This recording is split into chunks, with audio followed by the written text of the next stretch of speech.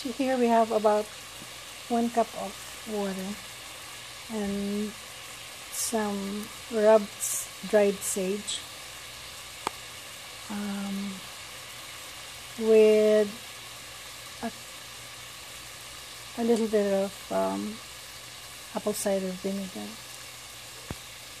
The a cupful not a cup but um, the top of the bottle. Uh, you use the bottle top to measure the amount of um, I use the bottle top.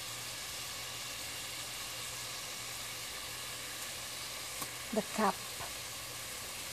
So here you have scooped out you know the ice cream scooper? I use them make this. One two three four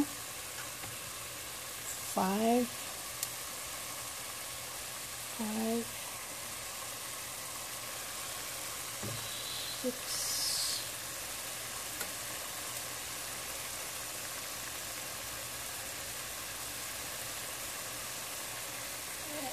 uh, six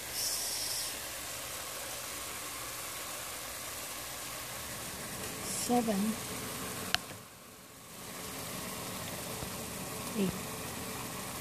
okay